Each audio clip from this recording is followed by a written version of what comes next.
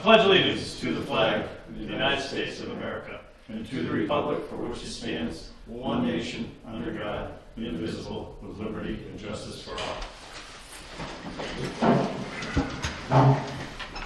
Alrighty. Um, well, we have an appointment at six thirty-five.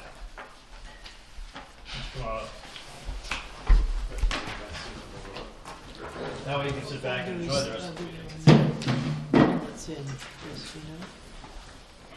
We have Al Wishart here with a uh, appoint- appointment of a part-time officer.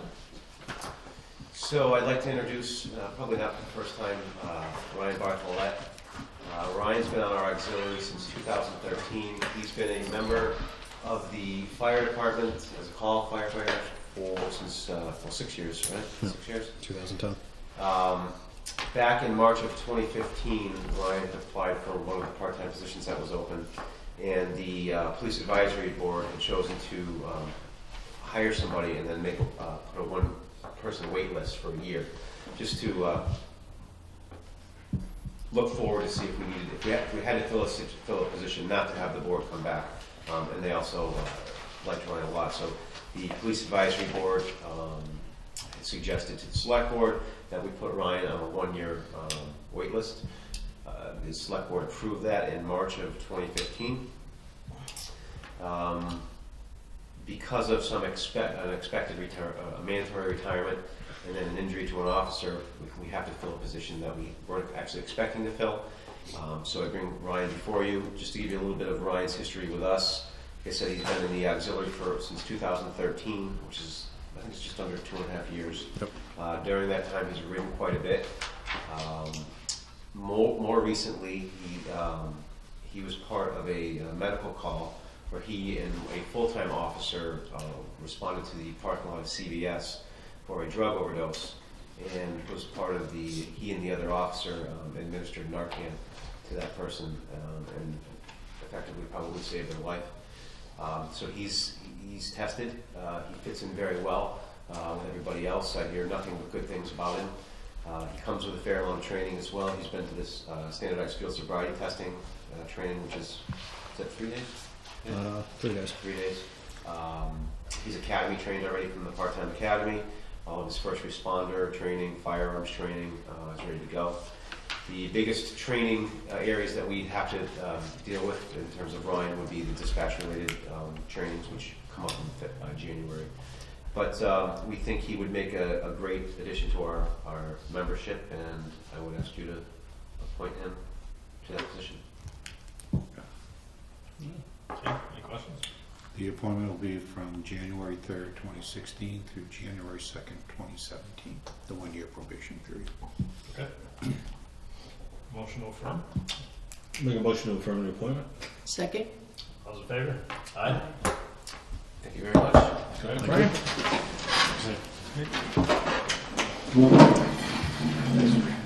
Be a part of our force. Thank you.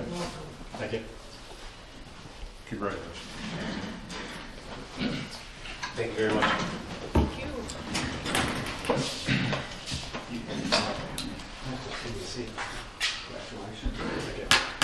All right, um, we have a highway superintendent, David DeRochers, who's here to show us some signs. Brought an old one with me just to show you the difference.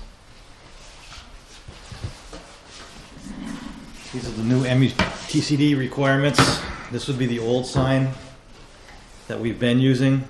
It's uh, six inch extruded with a, I think it's a three inch letter on those, or a four. This is the new sign. Uh, the new standards require an uppercase and a lowercase lettering. This would be the minimum size that would be acceptable on low speed streets. Um, on the higher speed streets, the minimum letter size would be six inch and four and a half on the lowercase. Um,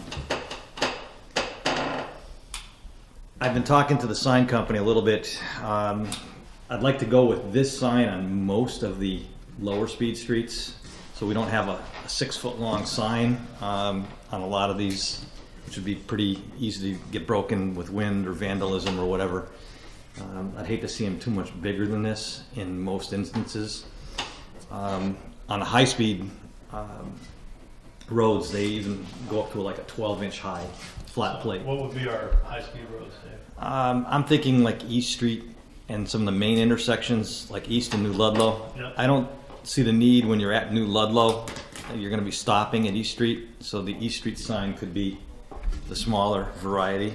Um, but if you're traveling along East Street, passing New Ludlow or passing a few of the other side streets, it might be advantageous to use the, the larger lettering anyway. But as you can see, it, it, when you go with the larger lettering, it's going to extend everything, and the, the length of the sign might increase a little bit too. But um, I just wanted to bounce this off the select board, make sure that they're okay with everything as far as the the look. Um, but just this will give you pretty much an idea of what the differences are going to be, and this will be It'll be like a totally different street. You'll be able to see it, that's for sure. And this is all the, uh, the reflective sheathing on this is the um, high intensity prismatic, so you can see it. It lights up like a like you shine a light on it when your car light hits it. Okay. So, so Do we have a choice of colors or anything? there there is a, a couple colors. This is the, the color that is recommended, Oh. um, and it's what we've been using. Massachusetts green, I guess, but um, there are a couple of alternate colors that they will allow, but it's not recommended. I mean, they they're trying to standardize everything to the green. No purple. No purple.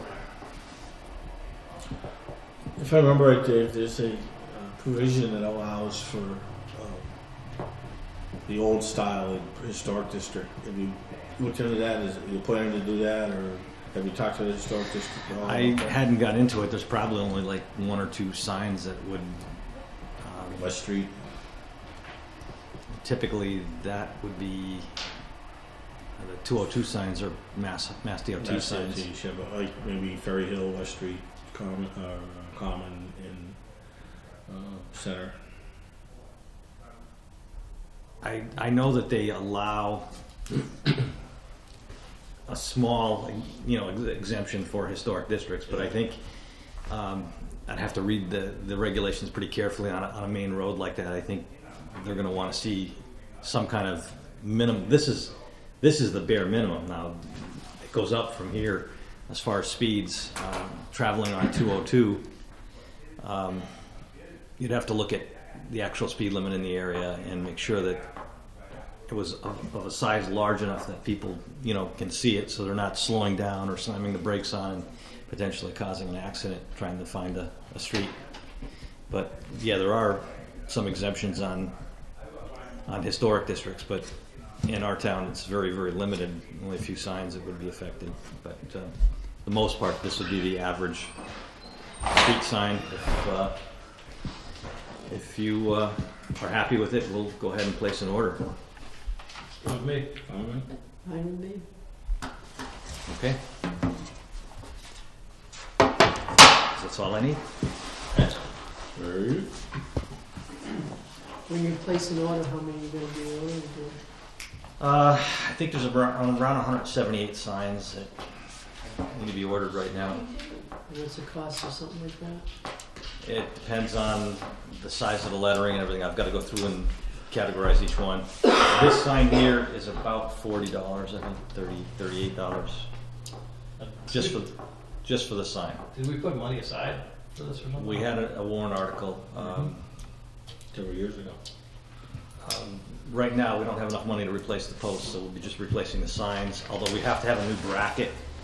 The bracket's gonna be a little bit bigger because the sign is so large, the old brackets wouldn't be strong enough to hold a bigger sign, it would just snap off with the wind. So we'll do the bracket and, and the sign right now. What do you do with the old signs? Um, we've got a stack of them at the, behind our shop right now, we'll bring them down to Sullivan, and they go back to the general fund, the, uh, Scrap. Aluminum, yeah. But the price of uh, metals are way down right now, so we haven't made a, a run to Sullivan. We've just been stocking them up. Or if anybody want to buy their signs. You never know. Should have a Okay. sign auction. To do that. Okay. All right, Thanks, sir. okay. Thanks, Dave. Good night. Hey, Good night. sorry that you get out so early tonight, though. No problem. Okay, um, we'll move to departmental reports. Make a motion to accept the departmental reports as written. Sorry. Discussion, all in favor? Aye. Make a motion to uh, sign, approve and sign the maintenance warrants number thirty-seven, thirty-eight, and thirty-nine. Second. All in favor? That top one, Barry, you just need to sign it, prove it, but you missed signing the actual document, that's all.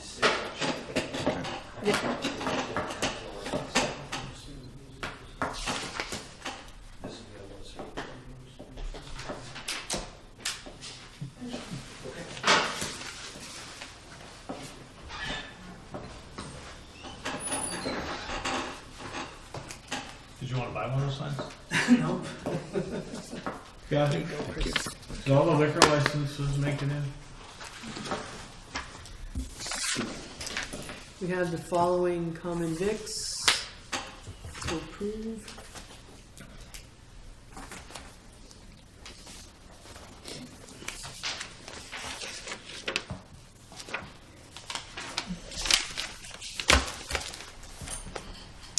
First one is for Rusty's Country Store, 102 New Ludlow Road in Granby. They're all expiring December 31st, 2016, correct? The next one is for David Kiskeski, doing business as Dave's Natural Garden at 35 Amherst Street, Granby. Next one is AAH Corp. Dunkin' Donuts at 77 West State Street Granby.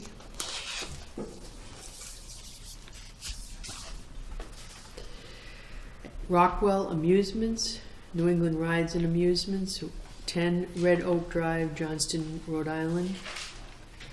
And that's, is that for, That's the Charter Day uh, amusement company.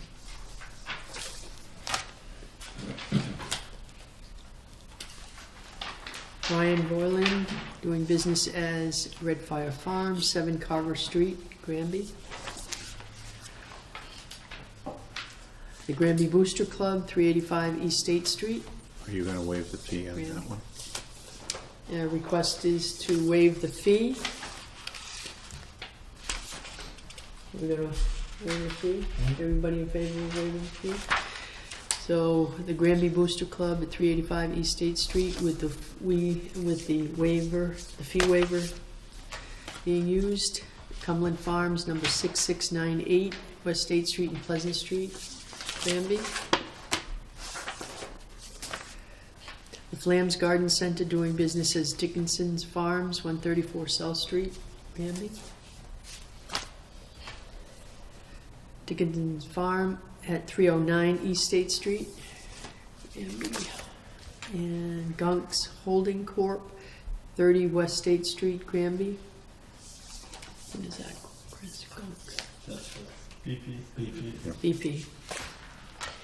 Cynthia Maloney doing business as Cindy's Drive-In at 455 East State Street. And Immaculate Heart of Mary Church, 26 256 State Street in Granby. I would also request that that fee be waived for Immaculate Heart of Mary. With the waiving of the fee for Immaculate Heart of Mary. The motion to approve said uh, common vic licenses. Second.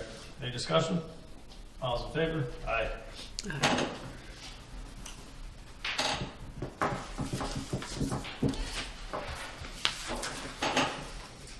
Just one sign, one place, right? One place, yes.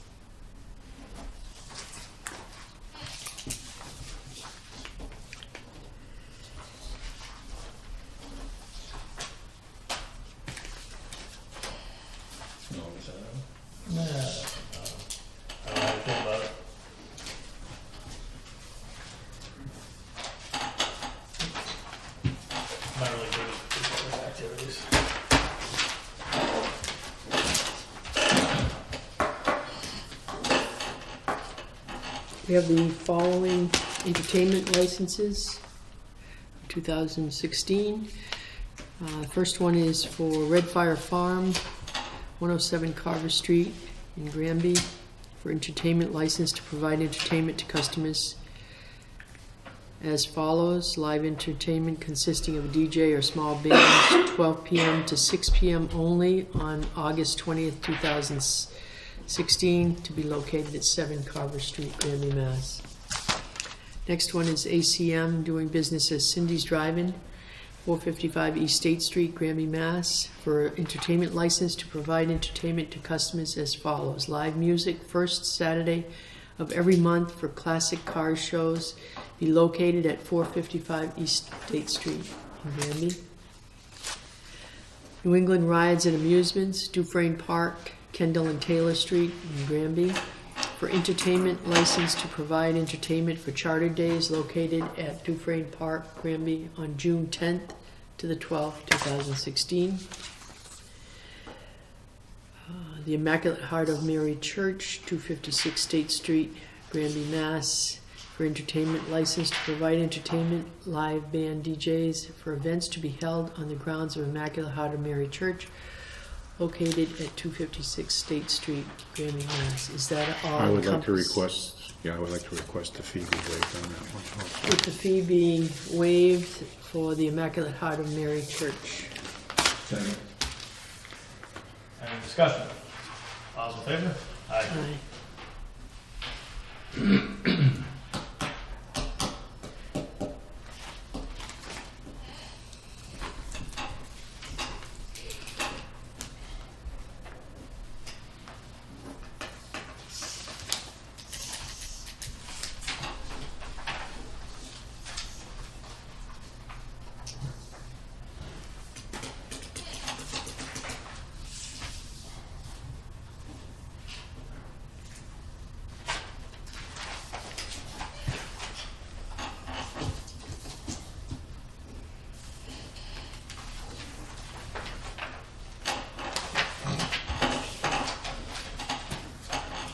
It's easier. Yeah, for We have a Dufresne Recreation and Conservation Area Permit request. The applicant is Northeast Chevy GMC Truck Club. Responsible group member Frank Litwi- Litwinis. Reservation date August 6th and 7th, 2016, arriving at 9, departing at 5. No police requested, no liquor. Maximum number of people 200, type of function a truck show.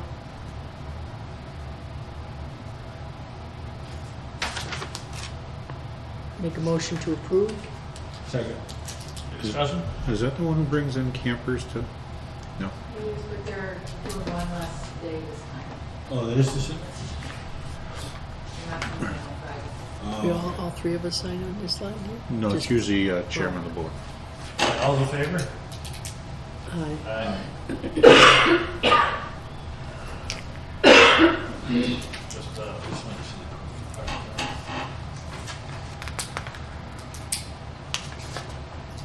Maybe we could suggest that they put a, uh, spot on the application about people camping.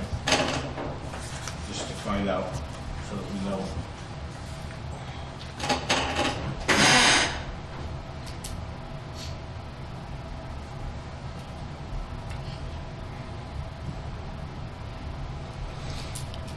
This is for the sewer fee. Yes, you need to read it aloud, yes. Okay, sewer use fee warrant number 16-1 to Karen M. Stellato, agent for collection of sewer use fees for Granby in the county of New Ham- of Hampshire. In the name of the Commonwealth of Massachusetts, you are hereby required to collect from the several persons named on the sewer use fee list, herewith committed to you as therein set forth, with interest, the sum total of such list being ninety-eight thousand four hundred thirty-nine dollars and fifty cents. the whole amount billed to all persons known to us to be liable for sewer use fees. And you are to pay over said sewer use fees and interest to Steve, Stephen R. Nally, treasurer of the town of Granby, or to his successor in office at the times and in the manner provided by General Laws, Chapter 83, given under our hands this 21st day of December, 2015. Do we need a motion to approve? Motion to approve? Second. All's in favor? Aye. There's three copies.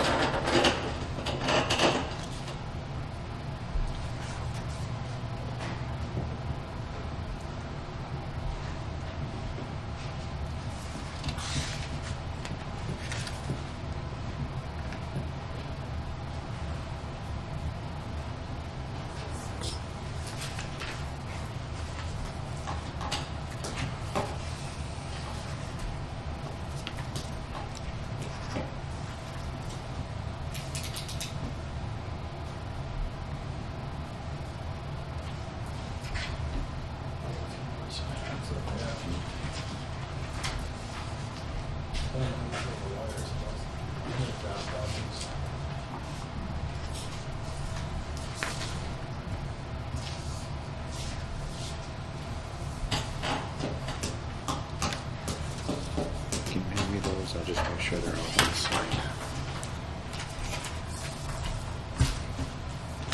Thank you.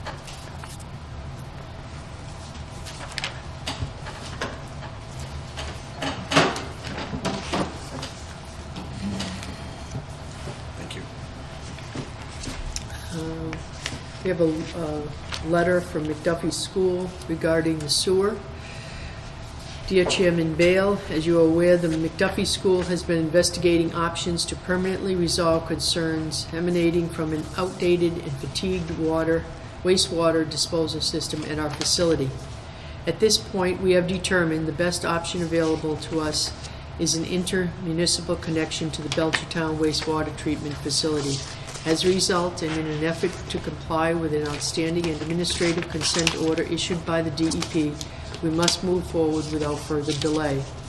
It is for this reason I am writing today to inform you of the MacDuffie School's decision and call your attention again to the established deadline to achieve compliance as specified in the administrative consent order. That deadline is July 30th, 2017. I am further requesting your assistance in identifying what actions or approval the town of Granby will request of the MacDuffie School to establish a meaningful schedule of completion. At the present time, it is our intent to install a low-pressure force main beginning at the MacDuffie School facility, traveling the entire distance in the northerly direction to the to the Belchertown and Granby Town line, at which time the force main will exit School Street and continue on George Hannum Road to the Belchertown facility. At some point in the proposed critical path route, a crossing of School Street will be necessary. In addition, a suspended crossing of the Forge Pond outfall will also be necessary. The MacDuffie School will continue to work with its consulting engineers, GZA Geo Environmental Inc., to provide detailed construction plans and work with local boards and commissions to include, but are not limited to, the Granby Highway Department and the Granby Conservation Commission. The school and our consulting engineers will also be agreeable to addressing any abutter concerns that may be brought forth regarding the proposed project. Recognizing the significance of the project, we are about to undertake substantial capital outlay. We intend to meet the established deadline for compliance with applicable DEP regulations and the administrative consent order, and I am seeking a prompt and definitive scope of requirements or conditions the town of Granby may seek, which will enable us to move forward with this critical project without further delay. We are available to meet in person, conduct on-site meetings with the Board of Sele- Selectmen, the Granby Highway Superintendent, Conservation Commission, or other interested members of boards or committees deemed necessary.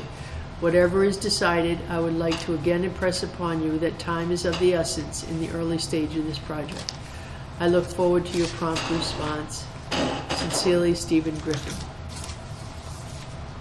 Okay, have any idea, so they're just gonna go up two oh two, is that the deal? Yep. And they have to get a, a right of way up for, up uh, School Street. How, how does that process work? Is it somebody have to involve town council? Yeah, I would. I would, because you're going to know what the path is, and then you're going to give them the right of way to be able to get in So there. should we refer that to Eddie? Yeah, I can. Is there anything else that we have to worry about, or is it, does it just go to planning and I, council? well, I don't know. Uh, does Parks Oversight have to deal with it because they're in charge of the conservation area there? Is that part of the They're conservation not gonna area? be They're not in there? Okay. there. No, They're not, If they're going straight up two oh two, they won't be there. well, they Well- can come up School Street, but I don't, Oh. I don't know where they're coming out, but I I don't think it should be anywhere near the park. Okay.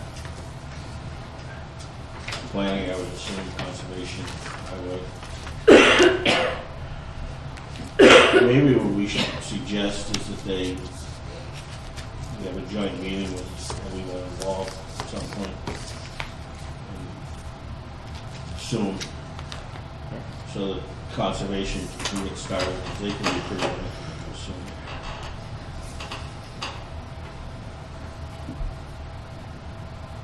So who would coordinate that here? I would, we would start here, I don't know, if we have to really get too, too involved, it's more planning and conservation. I think we should probably initiate it and then, Well, we can forward the letter to each of the, each of the boards and then, uh, right back to Steve that you should probably try and uh, coordinate a joint meeting with everybody. He should or we should? We should. You want us to? yeah, I think we should, I it do should too. come from, I think it should start, start. But Eddie should be, in the meantime, alerted so that he could get going on whatever. Um, I'm sure if it's gonna be right away, it's gonna have to be done right away, or something, yes. Should he be at that meeting? Or just send in a, Yeah, we can just alert him, maybe send it to him and see if he thinks he should be, I don't know, maybe the initial one he won't necessarily need to be, but I would assume we're gonna incur some legal expenses, are we not? Yeah, there would be. I mean, should we be paying for that? No. So that should be, that's something we should discuss with them.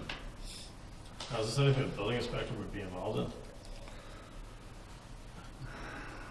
Well, I suppose it's gonna be a trench, so I would say probably building and probably plumbing. The other thing is, that- I mean, maybe they, I guess they'll have their own person, so it won't really matter. Well, I would say their engineering firm, uh, Geotechnic, Yeah, was yeah. it Geotechnical, I think they, is their engineering firm?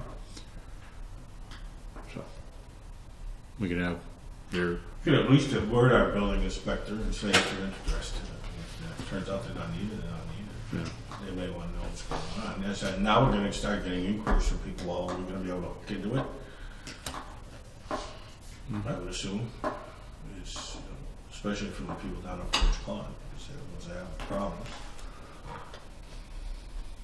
So as I understand the way this goes, they own the system, so that anyone who ties in has to pay a fee to MacDuffie if they're yeah, the town wouldn't be, res- be uh, Involved. responsible for anything, even if it breaks down after the fact or there's a Right. plug. are they looking to do that, do you know? what? To have people hook in? Oh, I don't know that, no.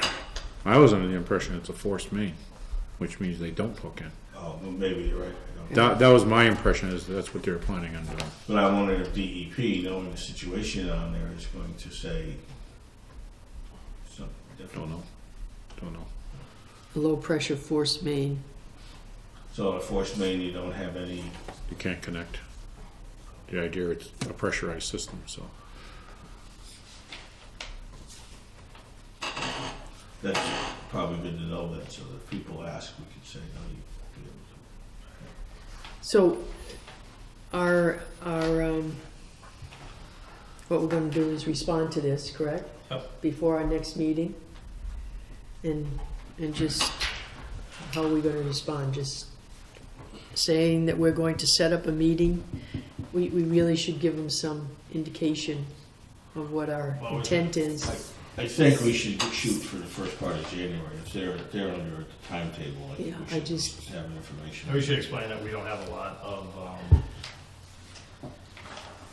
We don't really have a lot of jurisdiction over this type of project, but we'd be glad to coordinate a meeting with, uh, um, particular boards in town, just make sure everything gets coordinated.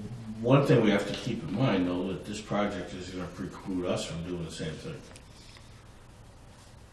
for that part of town. Just a thought, that's all. Because if that's the close force main system, then we're not gonna run a second system side by side. So, Yeah, unless they start giving money away, I don't think we'll get down there. no, I, I don't, I agree with you, but I'm saying, that we just have to remember that.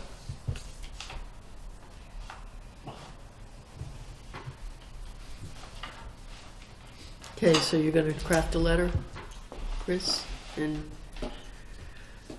to them within the next couple of weeks and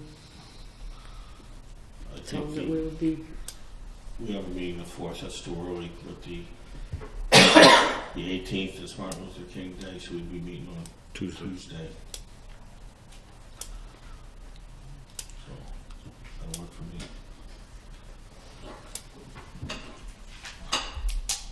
I mean, is this something that we should just give a phone call and follow it up with a letter, just to, That'd be fine. I mean, I, I think, I just think we should uh, In try terms to, of speed, yeah, I suppose. you know, help them out as best we Responsible to help can. them out. Yes, because I, am not sure that they feel we've been that responsive, so, in the past. So, Chris, you wanna give them a buzz and see what kind of dates we can set up? Don't forget, after the nineteenth, it's when my schedule is kind of iffy as far as whether it's really Monday or Tuesday. That's Next few months. Okay, Have the letter then.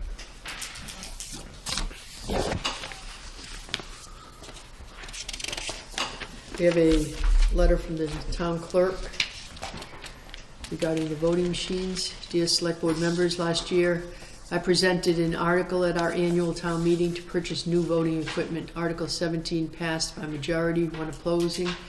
The state has approved two new voting systems, the ImageCast from LHS Associates out of New Hampshire and the DS200 from Election Systems and Software out of Nebraska. After reviewing the two choices, it has been determined that the ImageCast would be the best choice for our town. In order to use the new equipment and discontinue using the existing system, the Select Board must take a vote as required by General Law, Chapter 54, Section 34.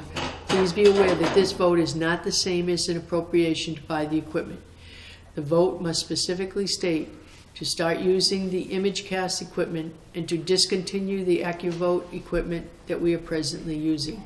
This vote must be taken at a meeting held at least 120 days before a state or presidential primary or state election and at least 60 days before, before a municipal election. A notice of the vote from the Select Board agreeing on using the ImageCast equipment and discontinuing the old AccuVote equipment must be sent to the elections office within five days of the vote.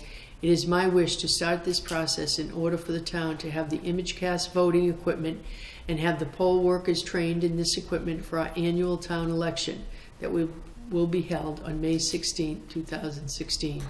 Thanking you in advance for your time and efforts in this matter. Respectfully submitted, Catherine A. Kelly Regan, Town Clerk.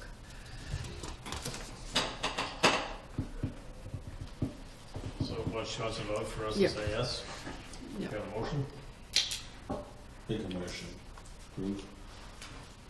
We, we need the vote to say that, um, a spec- that, to start using the ImageCast equipment and to discontinue the AccuVote equipment. Has to be stated a certain way, correct?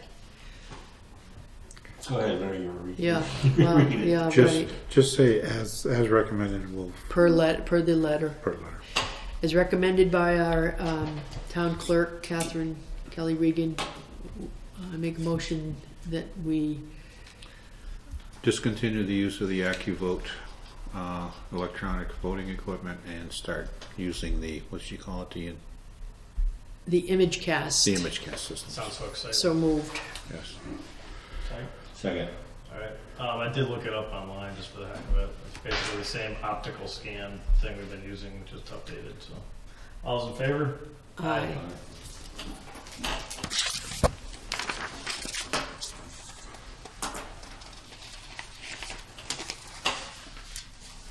Um, West Street School discussion, there was an email, is that email in there? No, I didn't put the email in, but you, you wanna go up and print it off? Um, This- Well, it was, it was just a, you, I really everybody don't- saw that, Yeah, I don't really understand why it was sent, because, um, could It you didn't- just give a little yeah, I can, synopsis of it? I mean, basically, the question is, what would we do with the building after, if the, um, build, the school project goes through, what will we do with West Street School? Um, I've been pretty consistently saying that nobody should vote for the school project thinking that we, can just move all our town offices in there, because it certainly would not be that simple. Um, so we don't really know the disposition of that. On the other hand, speaking for myself, I don't even think I'll be here. I mean, what we got for, how long is the timetable for when will the school be completed? They were saying, uh, two years, two, three years, So I may or may not be, on, you know, be towards the end of your term. yeah, be toward the end of my term, so we can't really make any decisions about that building now that would be binding anyway. You can't bind a future board to make a particular decision. But there's not really a informed decision that we can make. I think probably the most important thing is that people understand you can't just move into the building. Um, it might be cost prohibitive to do so. Um, we certainly know a lot of things would have to be brought up to code. Um, So these are some of the things that go on. We might send, you know, options, we could, if we, we could try to move into it, if we have the money to spend on it, we could, uh, send out a request for proposals for usage. Um, We could conceivably have it demolished, and, you know, any of those things would be possible, but that's, there's really not much to say until after we, um, have a school vote, and we know, if first of all, if we have a school, and then, I don't know, not really much, we can't make decisions about something in three years. Well, now. you, you may wanna, if the school votes go through, maybe have that, s- reconvene that survey board, just like you did for Aldrich, and have them go in and look at it and make a recommendation. Yeah, I I think to do anything before the vote is just spinning our wheels because we don't know what's gonna happen. If the vote goes through, I, I always thought what we would do is convene some type of a committee or a board to go in there and look at all the options, demolition, renovation, sale, and come up with a recommendation, so. I thought the survey board did a good job with the various options for, But you certainly need somebody with some knowledge, because you can, you and I can look at something and see one thing, and someone who knows something about a building, you look at it and see something entirely different. But you know, the survey board has an engineer on it, has the fire chief, and has the building inspector, three key people. And, and then again, I think what we probably should do is then resurvey all the town boards about space needs. Like we did a few years ago there when we had the, before we moved in here, find out people's needs there. As far as what they actually need for room, so we know how much of the building we need to occupy. I think the biggest issue people are running into is storage of records. That's the biggest It's problem. everywhere. Yeah. It's it's everywhere. Yeah. So, Mary, we- Yeah, so we could just, uh, I mean, I, I fully agree, I think he, he- he sent us that email, I, I think it's, we serve him right in bringing it to the board, and this is the board's response, you know, we can't do anything until the vote, well, but I do think, once the vote is taken, and it's, should it's start. moving forward, then I do think immediately we should start, think about it, right? yeah, and talking about it. Yeah. What's the, what's the anticipated construction? Thirty to, Okay. thirty to thirty-six months. So two and a half, three years, give or take. From spring, March, February, No, it's March. the summer. Summer, yeah. or summer, so you're looking at a Because, because what they're looking at trying to do is coordinate with the summer vacation to do some of the major repair or major renovation at East Meadow School while the kids are out. Yeah. Okay? Do the major, constr- build the new building while they're in, and then while school's in session, be building the pre-K through three building. Then move four, five, and six over to that building, and then complete the Finish the renovation. finish the renovation. Now, if they wanna try and do like the kitchen area, try and do the areas, the big areas Yeah. that are easy enough to deal with and get it done in a three-month period of time or two-month period of time. So if you s- you're talking, starting in two thousand sixteen, you're looking at two thousand nineteen. Yeah, give or take eighteen, nineteen, yep.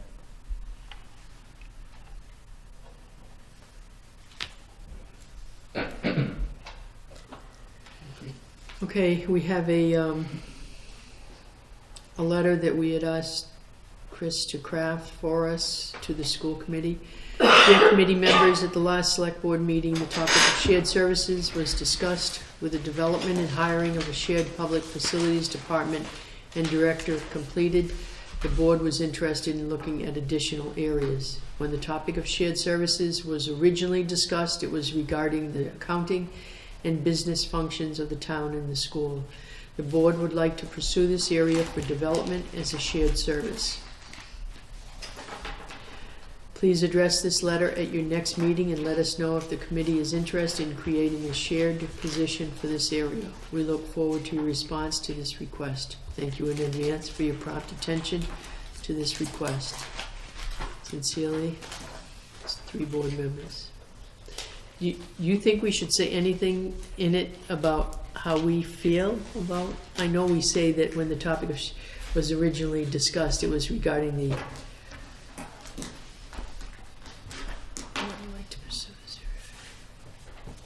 I guess it says that we would. I mean, I just hope they get the the message that this is something that we definitely want. And I'm all right with the way it's stated and not But I, So we'd be a little bit more, um, I mean, I already basically stated, I already told you what I, um, thought, I don't really think we need a letter, but I'm willing to go along with you guys. Um, But, make a motion to approve the letter. Second. all in favor? Aye. So, Make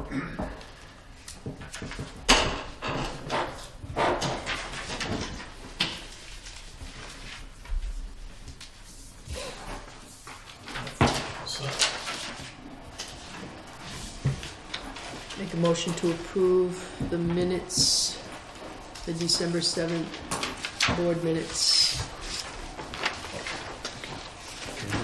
Mark, Make a motion to approve the December seventh board minutes. Second. all in favor? Aye. Alright, um, we're not gonna go into executive session, only to return to, can adjourn our regular meeting. We'll come out of executive Only session come out of only,